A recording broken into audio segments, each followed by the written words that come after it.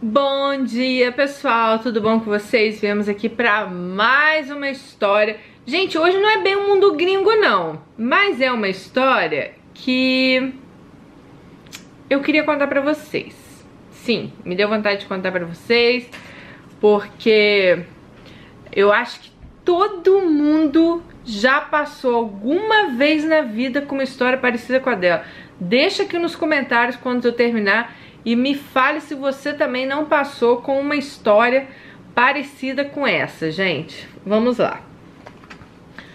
Oi, Dani. É, conheci o seu canal através da Dani Borgione, que é do canal Sobrevivendo na Turquia. Então, um beijo pra você e para todos os seguidores da Dani que chegam aqui no meu canal né? E para vocês que não conhecem a Dani, vai lá conhecer o canal Sobrevivendo na Turquia. A Dani tem um canal, é, a gente fala não do mesmo assunto, mas ela conta muitas histórias que se passam no universo turco, né? Então tem várias histórias no canal dela e ela conta muito sobre a Turquia também, vale a pena. Adoro a Dani, já gravei com ela em Londres. Quem sabe a gente não se encontre outra vez, né? Bom, ela falou assim, gosto demais dos seus vídeos, assisti vários. Normalmente vou, vou assistir enquanto tô lavando louça. Bom, Dani, minha história de hoje se, se, se intitula Falsa Amizade Oportunista. Como lidar com eles? Quero contar a vocês, pois creio que possa ajudar alguém que nunca foi traída por uma falsa amiga. É... Eu nunca fui de ter muitas amizades, me casei cedo e sempre vi no meu marido um bom amigo, o que ele é. Muito embora, sempre achei lindo aquelas meninas que postam foto com as amigas.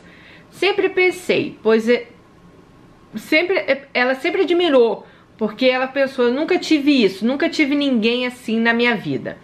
Então, vou contar para vocês o que aconteceu e por que me decepcionei. Vou fazer um pequeno resumo.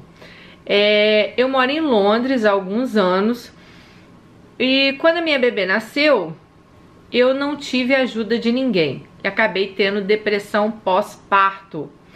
Como aqui em Londres somos somente eu e meu marido e minha filha, eu me sentia muito abalada, eu não sabia nem trocar uma fralda. E então ela acabou entrando em depressão. Gente, isso aí já não é bem a história dela, mas isso é algo que acontece muito, tá? Quando você tá fora do país acaba tendo um bebê, o seu marido normalmente ele vai ficar em casa, vai ficar fora de casa várias horas para trabalhar, até porque talvez você não vai poder trabalhar, né? E você vai ficar em casa com o bebê. E você não tem aquele carinho da família, né? A gente quando ganha filho, é, eu, graças a Deus, quando eu tive meus dois filhos, minha mãe ainda estava viva e minha família sempre foi muito unida, sabe? A minha família tinha todos os problemas do mundo, mas assim, era aquela coisa de ligar, saber como é que você tava. Ah, vou em casa, vou levar um bolo para você, vou aí te ajudar, vou fazer, vou acontecer. E quando você tá fora, você não tem isso. Então, muitas mulheres que eu conheci fora acabaram tendo depressão pós-parto, ou acabaram talvez não tendo depressão, mas se sentindo sozinhas. Então isso acontece bastante. Bom, na mesma época, meu landlord, landlord é como se fosse o dono da casa, vamos botar aí, né? Pediu a casa que morávamos, então, muito estressada e com uma bebezinha, resolvemos passar uma temporada no Brasil. Fiquei por lá um ano. Nessa época fiquei na casa da minha mãe, que me apoiou em tudo. Morávamos perto da igreja que eu frequentava. Costumávamos ir ao culto juntas, então lá nessa igrejinha de bairro bem pequenininha, todos acabaram sabendo que tinha uma moça de Londres que, que tinha acabado de voltar, né? Frequentando os cultos. Até que um dia eu fui abordada por uma moça falando que ela tinha alguns parentes que também moravam no exterior e que um dia ela também gostaria de ir embora. Então, achando que tínhamos assunto em comum, fomos nos aproximando eu contava minhas experiências de como é morar na Inglaterra, né? E ela ficava ouvindo maravilhada minhas histórias. Assim passamos os últimos três meses que eu fiquei no Brasil, muito amigas. Até que essa moça e eu já estávamos bem próximas quando ela soube que eu iria voltar para Londres. Ela grudou em mim, fazia tudo para me agradar. Como eu não sabia o que era ter uma amiga, imaginei que fosse assim mesmo, que era normal tanta cordialidade. Vim embora para Londres e assim ficamos ainda amigas pela internet. Essa mulher me enviava mensagens todos os dias, nos falávamos de, falávamos de absolutamente tudo, do dia, do céu, da chuva. Se fazíamos algo diferente lá, estávamos nós contando uma para a outra. Se na noite anterior, ela tivesse ido ao cinema, na manhã seguinte já tinha áudio dela contando sobre o filme que tinha assistido. Tipo assim, elas viraram carne e unha, gente. Né? É, acordou, oi amiga, como é que você tá? Ai, eu vou, vou comer, vou fazer. E isso é normal quando você tem, né? É, uma amiga, talvez bem próxima, isso é uma coisa normal. Às vezes você quer dividir suas coisas com alguém, ainda mais quando você não tem família perto. Então você acaba realmente, ah, seus amigos acabam se tornando sua família e você acaba, né, dividindo isso com eles. Mas vamos lá. É... Assim se passaram dois anos. Pois é, Dani, finalmente eu achei que eu tinha uma amizade, né? Porque elas ficaram bem próximas mesmo. Nesse tempo, uns parentes do meu esposo vieram de férias. Demos uma carta convite para eles. Eles ficaram dois meses conosco até que eles resolveram ficar aqui na Inglaterra. Quer dizer, desde o início era a intenção, só que eu e meu esposo não sabíamos. Logo eles arrumaram um emprego, saíram da nossa casa falando muito mal de mim, do meu esposo, pois não queríamos que eles vivessem ilegal aqui, até porque nós demos a carta convite para eles. É, eles mentiram do início ao fim. Isso nos magoou muito e eu desabafei com essa minha falsa amiga. Gente, carta convite é o seguinte: você é cidadão europeu, você dá uma carta convite, olha, fulano está vindo me visitar, né? Fulano não vai pagar hotel, eu vou pagar a comida de fulano aqui, ele vai ficar tantos dias na minha casa. Você se responsabiliza pela pessoa. E o que, aconteceu? É essa família do marido dela meio que mentiu para eles, né? Pediu uma carta convite, falou que ia lá a passeio, eles deram. Então assim, não que aconteça muito, mas se esse cara faz alguma coisa errada dentro do país, começam a investigar como esse cara entrou aqui? Não, peraí, tinha uma carta convite de fulano, fulano conhece esse cara. Então você acaba se envolvendo em uma coisa que às vezes não tem nada a ver com ela. Esse negócio de carta convite, cara, você tem que dar pra pessoa que for muito chegada a você. Muito chegada, que você confie muito, sabe? Porque infelizmente essas coisas acontecem. Bom, vamos lá. Então ela foi e desabafou lá com o amigo. Olha, tô decepcionadíssima, né? Fulano e fulano vieram pra cá falaram que era para ir embora, não foram embora, estão ilegais aqui, meu nome tá lá. Eles ficaram preocupados. Bom, no final de 2016, recebi um pedido de ajuda dessa amiga. Ela me pediu para receber ela, o marido e o filho em minha casa. Na hora eu senti que eu ia me arrepender disso, pois eu tinha acabado de passar por uma grande decepção e ingratidão. Mas então pensei, ah, nós somos amigas, né? Ela já sabe que eu tô magoada, ela não vai fazer o mesmo. Pensei que ela não me magoaria. Pois é, Dani, fiz um acordo com ela, pois eu morava num lugar muito pequeno, só cabia eu, meu marido e minha filha. Então disse: Você fica em minha casa sem pagar absolutamente nada, nem comida, por dois meses e meio, pois meu landlord não podia nem saber que você está conosco. Ela disse: Tudo bem, é só o tempo de arrumar um trabalho e um lugar para eu morar aí. Bom, vou eu explicar isso aqui. Eu já morei em Londres, então eu posso falar. Em Londres, gente, quando você faz um contrato de aluguel, você não pode sublocar, nem aqui nos Estados Unidos, né? As pessoas fazem isso alugam um, um apartamento, sublocam às vezes os quartos, o apartamento. Isso é crime, isso é contra a lei. E lá em Londres é a mesma coisa. Só que lá em Londres ainda tem um porém que eu não sei se tem nos Estados Unidos, não posso falar porque eu tô aqui há pouco tempo. Quem souber, deixei nos comentários. Se eu aluguei uma, um apartamento, eu tenho que colocar no contrato o nome de quem tá morando lá. Eu, vamos supor, meu marido. Por exemplo, os meus filhos, quando foram para Londres, eu tive que avisar o meu landlord que meus filhos estavam indo para ficar um mês comigo em Londres. Quando a Melina foi, eu já não tive esse problema, porque eu já tinha minha casa em Londres. Mas assim, se você recebe alguém na sua casa que vai ficar por um tempo, você tem que avisar. Tem apartamentos que não aceitam, tem apartamentos que aceitam. Então, assim, não é assim. Ah, por exemplo, eu já morei num prédio lá que não podia ter criança. Não podia ter criança nesse prédio. Eles não aceitavam criança. E uma vez, não é mentira, gente. É verdade. Dada e Jerusalém podem comprovar vocês tinha uma brasileira que morava no último andar. E ela tinha uma filha. A filha dela era casada e tinha, acho que um filho ou uma filha, agora não lembro, uma criança. E a filha ia trabalhar e deixava esta criança com a brasileira. Até que eu não sei se alguém contou, o landlord viu. Conclusão, pediu a ela que, por favor, aqui não é aceito crianças, então ele não pode ficar no apartamento. Por que, que não era aceito crianças nesse apartamento? Esse apartamento, gente, era um prédio antigo que ele reformou e fez vários apartamentinhos kitnet, tá? Então ele fez vários apartamentinhos assim, é, de o quarto com uma cozinhazinha, só que o banheiro era no corredor. Então, para cada dois quartos tinha um banheiro, tá? E o que que acontecia? É... Quando o banheiro é do lado de fora, na Inglaterra, não é permitido ter crianças dentro do prédio. Por quê? Não sei, mas imagino eu, talvez eles acham que alguém vai sair nu do banheiro e vai dar de cara com a criança, alguma coisa assim.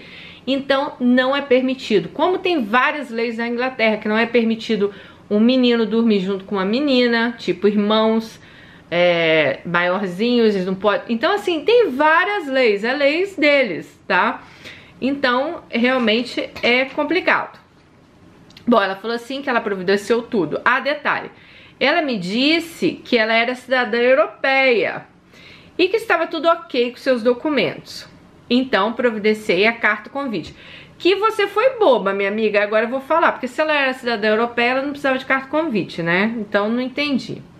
Bom, eles vieram. Foi tudo bem na primeira semana. Mas havia muitas mentiras que eu só soube quando eles estavam aqui. Por exemplo, que o filho dela, de um ano, não, que o filho dela não parava um minuto. O menino era hiperativo. Obviamente, se eu soubesse disso, eu não traria para um espaço tão pequeno. Criança hiperativa é uma criança que não para, né, gente? Somos todos evangélicos, eu e minha família. Já frequentávamos uma igreja e eu levei eles para nossa congrega congrega congregação. Em poucos dias, essa mulher já tinha vários contatos novos para arrumar um trabalho para ela. Um dos acordos é que ela ficasse na minha casa Hum, ela iria ficar dois meses de graça na casa da amiga, mas ela também ajudaria a olhar a filha da amiga para que a amiga pudesse terminar um curso na escola, tá? Sim, Dani, eu contava com ela. Mas ela arrumou um trabalho de cleaner e deixou o marido e o filho dentro da minha casa comigo. Tipo, ela não tinha, ela falou pra mim que ela não tinha é, intimidade nenhuma com o marido da mulher. Tipo, ela não tinha intimidade nenhuma com o marido da mulher. A mulher simplesmente arrumou um trabalho, falou que ia ajudar ela nesses dois meses, não se importou, tipo, com os horários. Porque eu acho assim, gente, combinado não sai caro. Olha, você vai me ajudar? Vou. Ah, então você arruma um trabalho à noite, porque de dia você vai ficar aqui. Você tá de graça em Londres, que, minha querida, Londres é um dos, aluguéis mais caros do mundo. Londres, Paris, Tóquio muito mais caros que Estados Unidos, vocês não têm nem ideia. Então, assim, aluguel em Londres é caríssimo. Então ela tava indo para ficar de graça dois meses, tá? Mas ela não cumpriu com a palavra dela. Ela arrumou um trabalho, correu pra rua para trabalhar e deixou o marido e o filho dentro de casa. Ela falou: Dani, com isso eu não pude concluir meu curso e ainda tive que ter eles dentro de casa comigo o tempo todo. Foi muito constrangedor, pois eu não, não conhecia muito bem ele. Bom, essa mulher logo fez várias amizades, se fazendo de coitadinha para receber ajuda. Lembra do documento europeu? Descobri que ainda está sendo feito. Então ela foi para Inglaterra, na verdade, para tentar tirar a documentação europeia. Ou deve ser italiana, né? Porque o pessoal vai muito para Londres para tentar tirar a documentação italiana. Então, eles estavam ilegais aqui. Bom, é, aquela mulher, que era minha melhor amiga, me contava tudo, todos os dias, conversava pelo WhatsApp, lembra daquela mulher? Pois é, nem olhava na cara dela dentro da própria casa dela, nem se dirigia a palavra a ela. Eu nunca falei nada para humilhá-la ou desfazer o combinado, sempre fui a mesma com ela. Quando chegou os dois meses e meio, que era o prazo combinado, ela já estava trabalhando, é, e como estava muito difícil a convivência, pois não havia mais diálogo, a amizade essa eu nem sei onde ela enfiou. Já não havia comunicação, então arrumei um quarto na casa de uma amiga para eles alugarem, pois ela aceitava criança. E também aceitava a ilegalidade dela, deles. Por quê, gente? Porque outra coisa da Inglaterra é muito difícil alugar um imóvel você estando ilegal. Provavelmente você vai ter que alugar quarto na casa das pessoas, sim. Não é igual aqui nos Estados Unidos que você tá ilegal, você consegue alugar um apartamento. Lá é muito difícil. Pra quem fala que Estados Unidos é... Aqui é uma mãe, vocês não estão entendendo o que é a Inglaterra. Disse a ela para visitar o quarto e me dizer o que ela achava. Ela me olhou com cara de raiva e fez questão de se mudar na mesma semana. Fia, você Demorou pra botar essa mulher pra fora. Eu tinha botado ela pra fora na primeira semana, no primeiro dia que ela não olhou na minha cara, ela já ia estar tá fora da minha casa. Bom, inclusive hoje elas ainda se encontram, né? Porque elas frequentam lá a igreja, elas se encontram. E ela nem olha na cara dessa menina aqui que ajudou ela. Nem olha. Gente, isso é terrível, né? Dani, respiro fundo sempre que vejo, pois é constrangedor. Sempre tenho a sensação de ter sido uma grande idiota, mas logo me sinto, me sinto bem, pois sei que cumpri a minha palavra, do início ao fim. Se alguém mudou, foi ela. É, as coisas aqui, elas acontecem e mudam muito rápido, você sabe disso. Apesar disso, desejo toda sorte a ela. Que ela não encontre ninguém como ela pelo caminho Hoje continuo não tendo amigas. Muitas pessoas já tentaram se aproximar, mas não consigo mais confiar em ninguém. Ela falou, sei que isso não é uma história pro mundo gringo, mas gostaria muito de ter meu vídeo aí, é, seria uma pauta nova. Olha, ela botou, Dani, um beijo, você é uma pessoa incrível, te admiro muito. Um beijo pra você, que pena que a gente nos conheceu quando eu estava aí na Inglaterra, né? Bom, Olha, eu acho que você foi até muito paciente, minha filha, porque se tem uma coisa que eu não tenho é paciência na minha vida. Gente, eu botar alguém minha, dentro da minha casa, alguém com... Cara, eu devo ser muito ruim. Não, sério, eu, eu devo ser uma pessoa ruim. Porque, primeiro, não, eu não tiraria minha liberdade dentro da minha casa por dois meses e meio. Cara, a não ser que essa amiga fosse assim, eu acho que minha irmã, não, eu não faria isso acho que, acho que na, na, na, vida, assim, de amizade de 20 anos que eu tenho, acho que três pessoas eu colocaria aqui, que eu consigo pensar, três pessoas que eu poderia fazer isso por elas. Porque, a não ser, lógico, minha família. Mas, cara, você sabe, tem gente que não dá valor, né? E é o que ela falou, tomara que ela não encontre ninguém que vai fazer a mesma coisa com ela. Ah, ó, não põe, sabe, botar gente amigo na casa de vocês. Todas as confusões que eu vejo em grupo é isso. É amiga que fulana botou na casa e deu em cima do marido. Amiga que... Be... Hoje mesmo no Facebook tinha uma lá botando, que botou a menina dentro da casa, a menina falou que tava passando fome, tava isso, tava aquilo. Cara, até homem a mulher botou dentro da casa da mulher.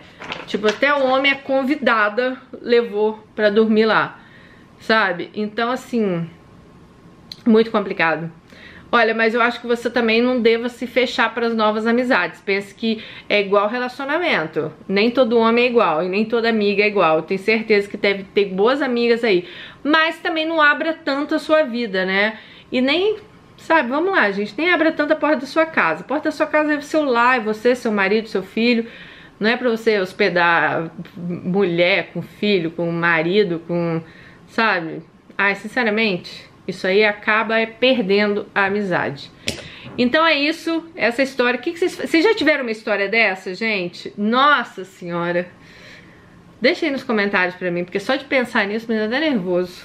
Porque acho que todo mundo já teve uma história dessa, né? É terrível você dar a mão a uma pessoa e essa pessoa ainda sair falando de você, sair te criticando. É, é terrível. Acho que todo mundo já passou por isso. Não deve ter ninguém. Então, minha filha, você não foi a única. Pode ter E nem vai ser a última, o que é pior ainda. Beijo pra vocês. Espero que vocês tenham gostado desse vídeo. Fiquem com Deus e até o próximo. Tchau.